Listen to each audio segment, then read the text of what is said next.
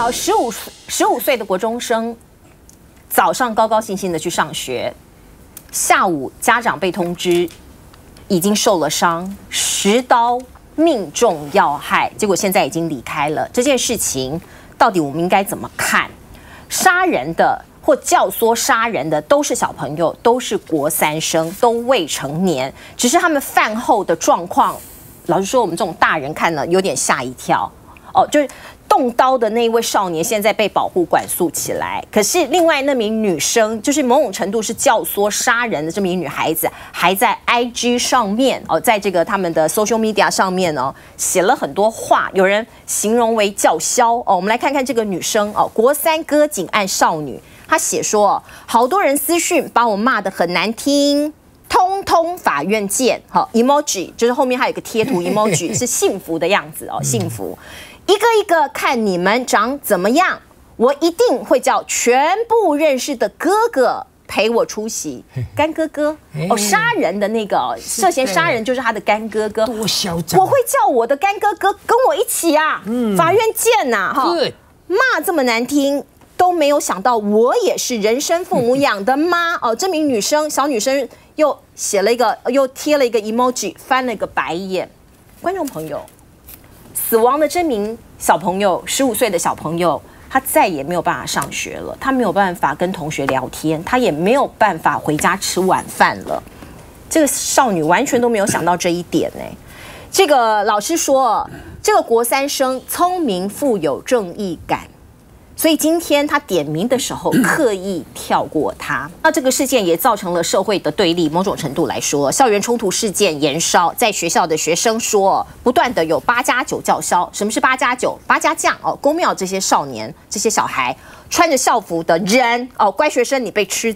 嗤之以鼻，而另外我们看到瓜吉前台北市议员哦，呃，他发表了一些言论，因为有很多人跑去 Face 联盟那边去剖文嘛，我就说 Face 联盟啊，你们出来面对啊，都是你们在这边塞狼啊什么什么的，那当然这种叫嚣也不是很好啦。可是瓜吉就讲，他逆风讲说啊，你们这些人去剖文的这么正义，你不如打给天道盟啊，哦，你打给天道盟，你这么有正义呀。小商人是一名网红，嘉义的网红，他就直接说：“哟，谢谢你的建议哟，我已经打给天道盟了，刚刚打了。”来，我们先请教这个梦话。其实我觉得发生这样子的事件，大家都非常的难过。那其实我觉得校园安全也是，不管是中央跟地方政府，大家要一起来好好来努力的。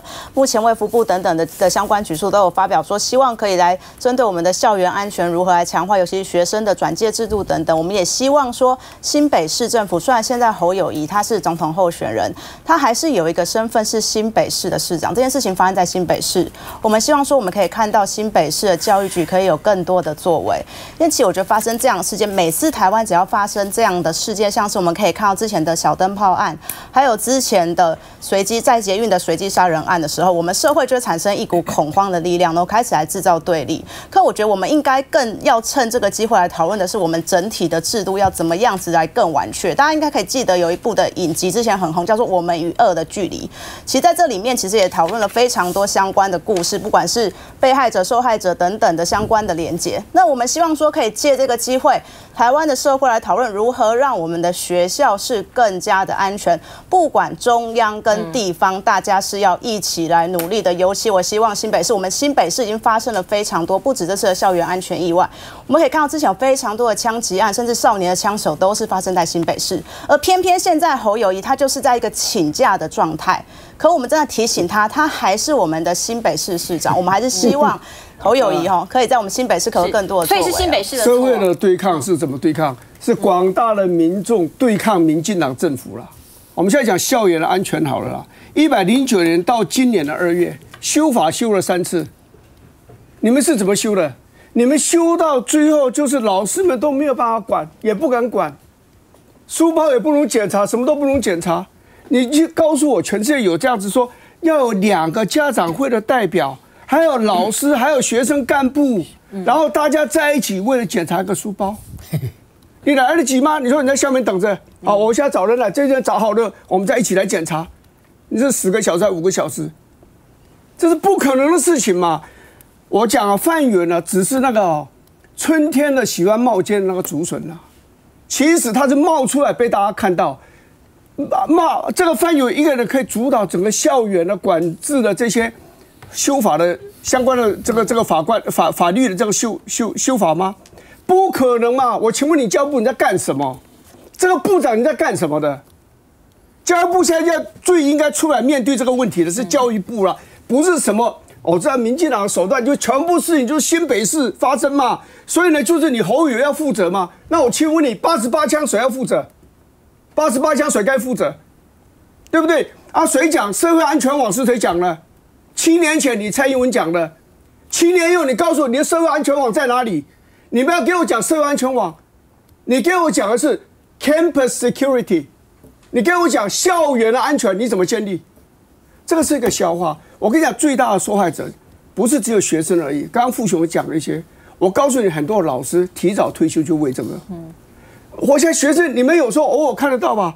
学生拿椅子丢老师，哎，你想男老师哦，如果女老师她吓都吓死了，我跟你讲，那你一个学校里面，你一个教室里面，你那个教室里面没有 king，没有 queen，没有一个领导在这里，每一个人都怕那几个坏学生，那你认为这个班怎么能够安心读书？嗯，这里面的学生不是被勒勒索，就是被就就是。就就是被语言的凌虐，嗯，那我告诉你，这这这个日子怎么过？所以现在整个人来讲，就是说你民进党要去检讨了，哦，啊，你讲说校园的暴力，我可以告诉你，不是老师没有办法在校园里面维护自己的安全，学生的安全他更没有办法维护。我告诉你，立法委员在立法院，我们都在美国念书了，我请问一下，美国有发生过很多大规模的示威游行，尤其越战，几十万人在华府。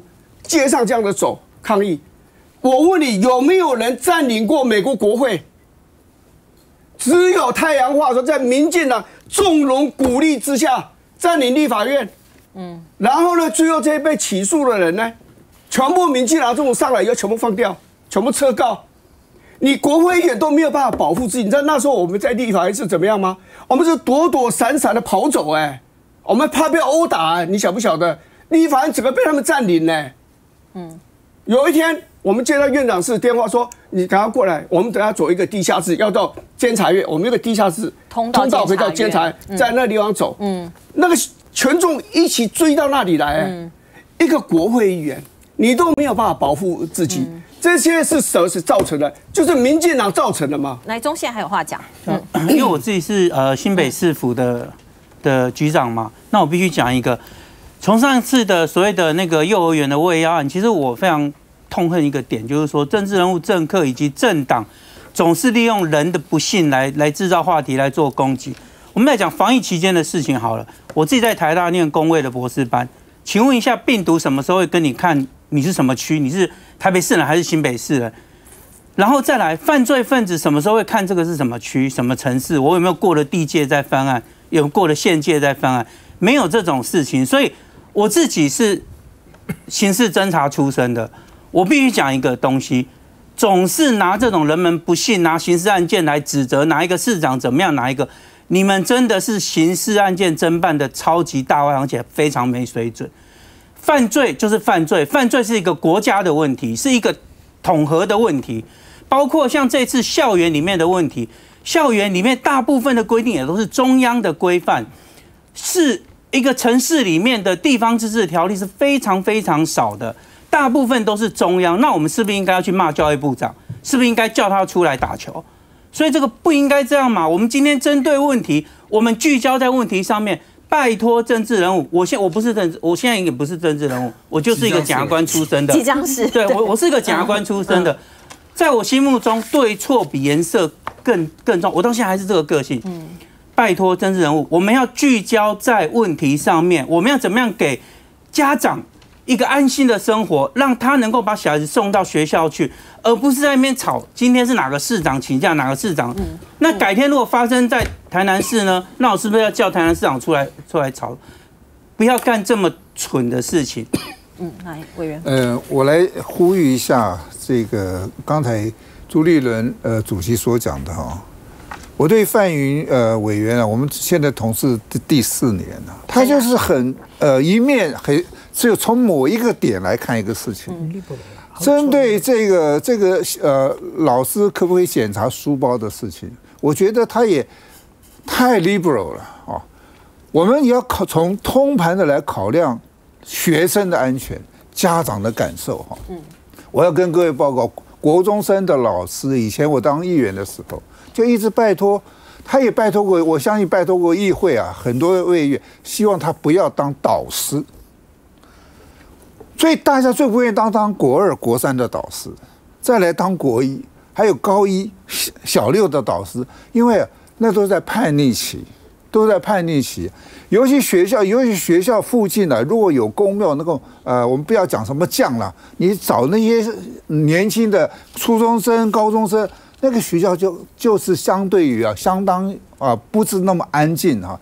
家长怕不怕？家长当我们都当过家长，家长当然怕。刚才奶奶心讲，为什么有人要去念私立学校？就是相对的管理的比较严格嘛。啊，我是觉得民意代表像哦，奉劝范云伟，他还要往后还要当四年，还有四年。嗯，看事情要看的比较全面，不要从某个人给你的意见，你就像哦，从那个点你就一定要坚持。是，还有。还有我们立法院刚修过的少司法，你去看看少司法的精神是什么？我觉得民进党哈，不要有的不要太 liberal，而且从从你的你的坚持，你的坚持不见得是对的。嗯，那大佬补充，我知道时间已经过了哈，但是呢，我不能放过那个小女生啊！没有放过小女生，你看那么神呐，她有多神呐？你知道吗？她说我跟哥哥多的呢。你们要骂我，我一个一个揪出来，我认得你们一个看看怎么以后要怎么干。这个这个我跟你讲，七十年前，不会怕的。七十年前我十五岁的时候啊，我们叫这样的女生叫什么叫太妹？小太妹。那她的干哥哥叫太保。嗯。那有太保有太妹，但是没有这么嚣张啊。对。嚯，加干呢？你写的这种家，你有够好大。这个我也很惊讶。那个时候啊，我们很有名的就是警务署里头的少年队。嗯。那个少年队的队长我都还记得，叫鲁俊。现在叛逆了哦，那听得鲁迅，我不惊死啊！但是我并不是说每个人都要乖到像我这样啊，每个人都像我乖成这样，社会也没有活力啊，你知道吗？你你晓得很多叛逆啦，他是有一定的程度，因为他活泼，他他却特别屌啊，他搞叮当，然后你看，尤其是眷村的，对，第一流的到美国去练电机了，第二流的留下来就这这个呀。你看，有人讲金普松就当年台南二中的德给啊，你知道吗？我问过他，他笑一笑，他不承认也不否认啊。我跟你讲，我们是需要有一群不一样的、多元化的、不一样的小孩子，这个社会才能多元化。是，但是不像你这个小妹嚣张到这种程度，你有种就来找我。嗯，而且其实中宪也讲过了嘛，哦，因为少年犯基本上是少年法庭处理，可是。还是会看你饭后的态度，对不对？像他饭后的态度，我们现在认为有一点不可思议，可能也会变成量刑或者是调查的依据，是这样子吗？是他这种案子，其实最后呃，少年法庭会移给检察官调查，这种比较特别，因为五年以上重罪，所以是检察官在调查。但是呢，虽然犯罪是以犯罪结束的时候就应该结束了。但是犯罪后态度通常在法官量刑上面一定会参考。是好，